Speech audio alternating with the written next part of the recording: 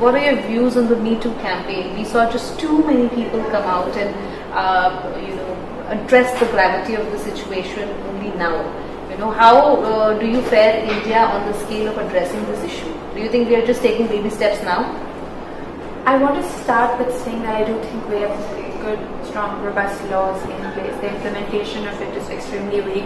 Uh, and it's unfortunate that we're finding a global movement of solidarity because every woman can relate to having been sexually abused, having been touched up without her consent, stared at, groped, molested at some point or the other in her life. And that that has become a normal reality for us, right? Where we at least where we say things like, I raped or and even right. if it's been raped, you still don't report it. So right. uh, that's really worrisome. It's amazing that women are taking to social media, finding that solidarity and saying that the whole concept point of Me Too was breaking apart the stigmatization that you feel and the you know the, the, the, feeling of loneliness where you tend to blame yourself, you tend to internalize it, being like, what did I do wrong? Could I have possibly prevented the abuse? X, Y, Z, and to just completely say, let's focus on the abuser.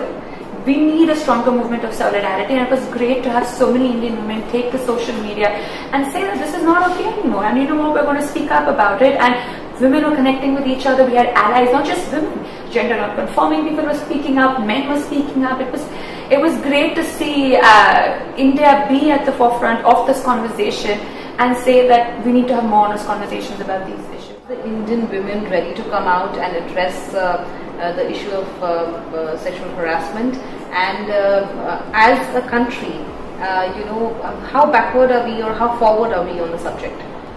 So it's important to remember that we had the largest protests against sexual harassment after the Nirbhaya episode globally. No other country around the world has seen that kind of protest for sexual harassment demanding for accountability. So Indian women have already come out on the street and said we need better laws. Um, but also at the same time, I think for so long we've been discriminated against that we have normalized it over time. We don't speak about it. Uh, the amount of sexual violence that we go through within our own homes, the amount of domestic violence that we go through within our own homes, and then this concept of, you know, ghar ki baat ghar fe rakho. So there is a lot of unlearning that we need to do, especially amongst the middle class, upper middle class, rich, because the poor people are still, they are my brave people who go and file a police complaint I don't have to convince them to go to the police station. And what I often find, which is disheartening, is parents refusing, or mothers even sometimes refusing to send their children for counseling, even even if they don't report the sexual crime, they don't even send them for counseling after the child has been sexually abused. So we have to do a lot of unlearning. We need to be more aware about our rights. This is where solidarity comes into play, and we need to speak up and speak up and speak up, even if we are called bossy, bitchy, hard to work with, difficult to work with. And we need to stop apologizing for demanding for our rights and equality. So uh, we all, all, all, we definitely have to take a lot more progressive steps. But we are doing that, and Indian women have always done that. So I don't want to you know paint us as a weak sect of society at all. We're strong. We just need to tap into that and carry on.